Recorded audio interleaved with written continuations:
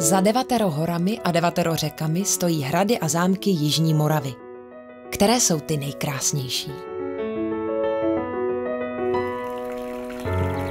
Hrad Bítov je jedním z nejromantičtějších hradů u nás a také z nejstarších. První zmínky o hradu pocházejí už ze začátku 11. století. Syn posledního majitele vybudoval na hradě největší soukromou zoologickou zahradu u nás. Ta do našich dob přetrvala v podobě sbírek preparovaných zvířat, především psů.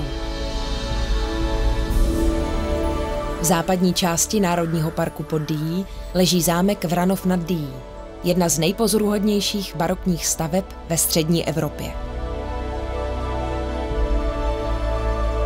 K turistickým zajímavostem patří zámecká kaple Nejsvětější trojice s nepřístupnou podzemní hrobkou, postavenou na stísněném výběžku skalního ostrohu a rozsáhlá zámecká zahrada.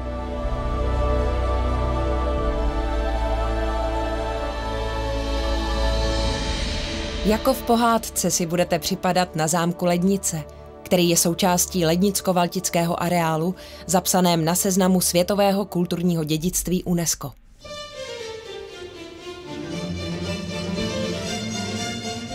Interiéry, které při prohlídce spatříte, podle historiků neodpovídají svému někdejšímu lesku.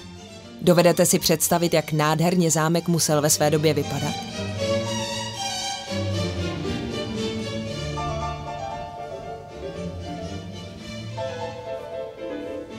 V nedalekých Valticích na vás čeká rozlehlý palácový komplex, který po 700 let sloužil jako hlavní sídlo rodu Lichtensteinů.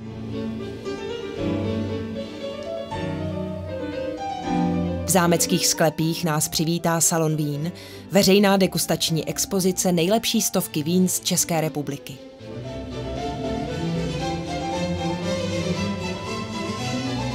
Perla jihovýchodní Moravy, tak se říká zámku Milotice. V původně renesančním zámku, přestavěném do barokní podoby, žili poslední majitelé až do roku 1945 – Díky zachovalým interiérům si můžeme udělat výlet do života aristokracie v první polovině 20. století.